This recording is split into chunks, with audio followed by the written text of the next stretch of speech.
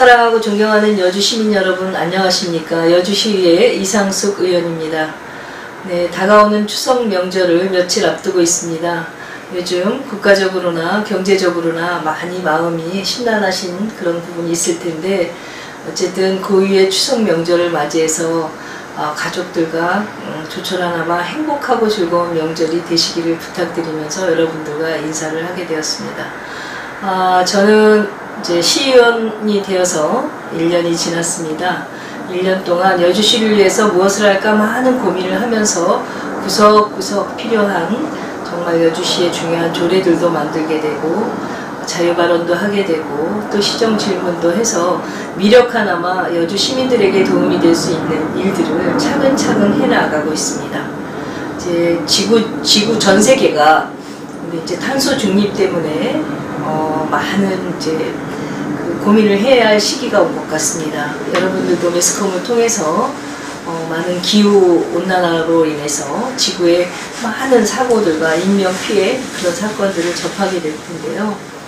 저희가 이제부터는 제가 의뢰를 제정하게 되면서 여주시도 국가와 그리고 세계와 함께 탄소 중립을 위해서 같이 힘써 나가야 된다는 부탁의 말씀을 좀 드리겠습니다. 그리고 또 하나 아, 여주시가 과연 이제 어떻게 인구를 유입해서 어떻게 여주시가 경제적으로 더 활성화되는 도시를 만들 만들어 나가야 될까 그런 고민을 할때 아, 젊은 청년 인구를 많이 유입해야 되고 그러려면 기업이라든가 관광문화 활성화로 여주시는 살아나야 된다는 생각과 우리 이충우 시장님도 그런 지금 준비를 열심히 하고 있습니다. 그에 따라서 제가 이번에 또 관광 포럼을 준비합니다. 여주 시민들과 민가관이 민가관이 하나가 되어서 같이 고민하고 준비하고 손잡고 헤쳐나간다면 이 또한 또 멋있는 결과물이 나오지 않을까 생각합니다.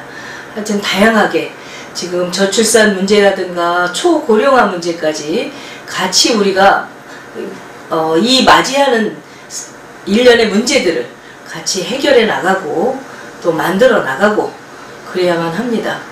이게 정치인들만 하는 일이 아니고 우리 인, 어, 시민들이 같이 고민해서 같이 힘을 합, 합하여 주신다면 더 빨리 더 빠른 시간에 우리가 고민하는 것들을 해결해 나갈 수 있다고 생각합니다.